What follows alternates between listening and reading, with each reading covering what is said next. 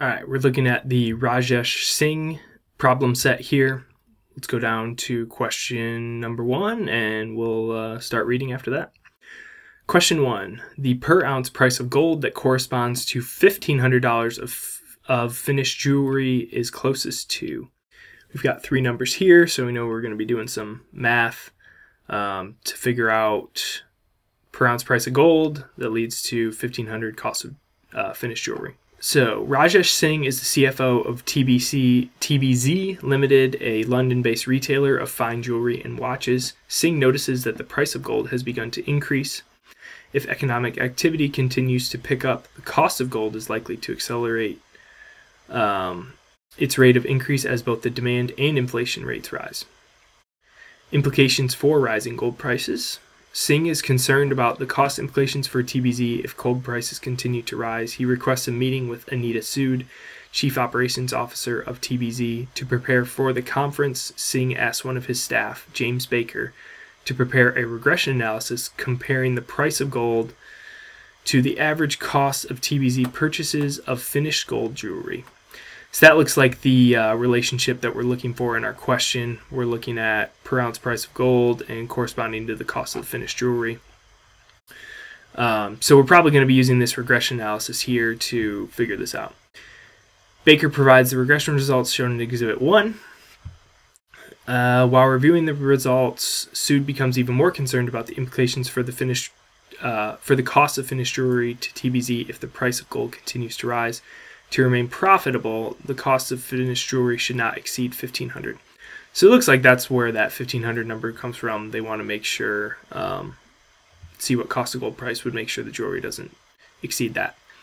And so we're going to be using the regression analysis here for this. So the uh, dependent variable is going to be that cost of finished goods, which is what we're regressing the cost of gold on.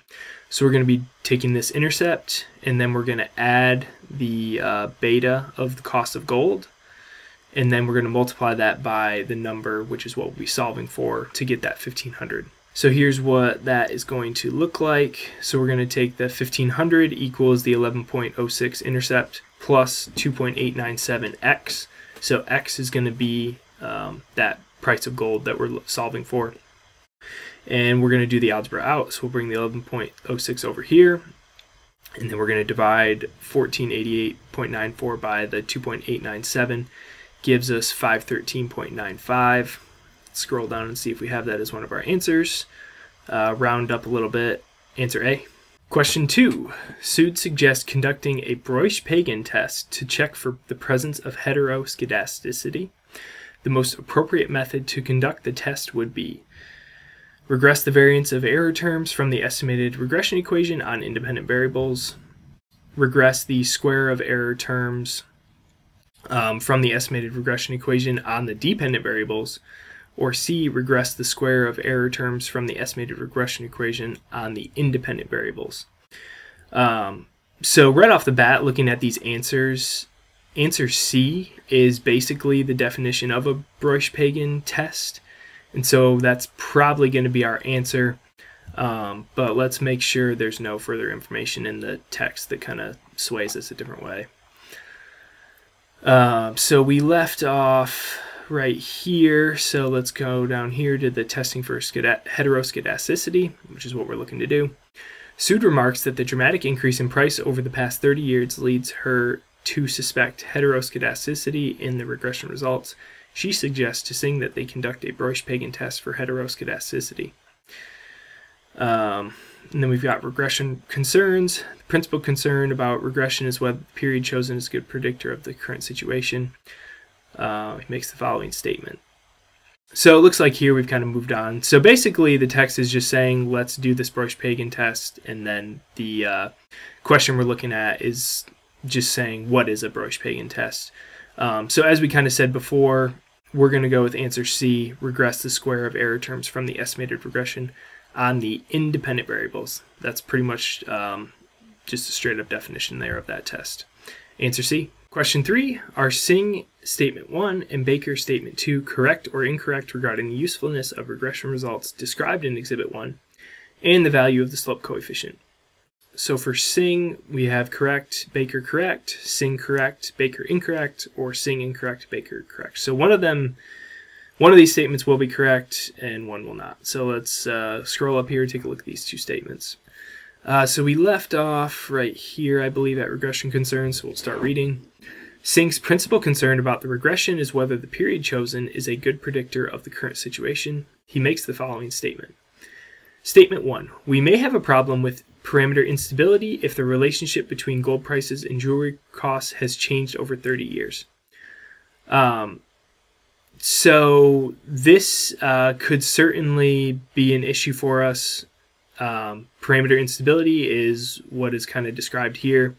If gold used to have a high correlation with jewelry costs, but now it no longer does, or that correlation is in the opposite direction, then our regression results are not going to be helpful in actually predicting um, the end jewelry costs. Um, so statement one is going to be a correct statement, which was made by Singh. So we've got correct, correct here, and incorrect. So we can go ahead and cross off C. Now we just need to determine whether Baker's statement is correct. Singh also focuses on the value of the slope coefficient. He expect, expects it to be 4.0 based on his experience in the industry. Baker computes the appropriate test statistics and reports the following. We fail to reject the null hypothesis that the slope coefficient equals 4.0 at the 5% significance level. Um, so we're using uh, this data here in Exhibit 1 to calculate uh, this 4.0 number. Um, so I'm going to scroll down here so we can pull in our formula and take a look at this. All right. So we're going to have test statistic is going to be this uh, B1, B hat number minus B1. And this second number is what we're going to be testing, which is that 4.1, 4.0 value. And then we're going to use the standard error of that um, variable in the uh, denominator. So this 2.897 number is coming from that first table, the coefficient of the cost of gold and we're basically and then the standard error of that coefficient is what we're using in the denominator. So we're testing this against that 4.0 number to see if it's significant at the 5% uh, level. Sorry. We're not we're not yet testing the 5% level. Uh, so this is going to give us a minus 1.793 number. And the number we're uh, testing against at the 5% significance level um, is going to be a t-stat value of 2.045, positive 2.045. So positive 2.045 is going to be greater than um, minus 1.795. And so the uh, t-stat is going to be, uh, it's not going to be significant, statistically significant. So let's look back at Baker's statement. We failed to reject the null hypothesis that the slope coefficient equals 4.0 at the 5% significance level. This is the correct answer um, because the uh, the t-stat value got was lower than the critical value. Um, so we will go with answer A. Both Singh and Baker are correct. Question four, which of the following best describes Sood's suggestion to correct the autocorrelation problem correct, incorrect, or not enough information to make a judgment. So this is telling us uh, one of these statements or suggestions is going to be um, him making a suggestion on the autocorrelation problem. We need to determine whether that's right or not. So let's go back up to where we um, stopped at. So we stopped at model misspecification here. Sood and Singh discussed the potential problem of model misspecification and the effects of such misspecification. Sood worries that the regression model could be misspecified because it does not include a variable to measure the cost of highly specialized labor used by manufacturing jewelers. She points out that omitting an essential variable in a regression analysis will make the regression coefficients biased and inconsistent. Singh adds that another common consequence of misspecifying a regression analysis is creating undesired stationarity. Multiple regression section Baker conducts regression analysis, which uses using all possible combinations of suggested independent variables based on their average quarterly values. The regression results for the equation, which uses all suggested independent variables, are shown in Exhibit 2. So we've got some regression data here, our R squared and Durbin-Watson statistic. We really don't have any uh, anything related to our question yet, so let's keep on reading. Uh, Baker is concerned about the equation described in Exhibit 2, and he makes the following statement. The Durbin-Watson statistic indicates the presence of positive autocorrelation at the 5% level. All right, so it looks like we're getting somewhere here.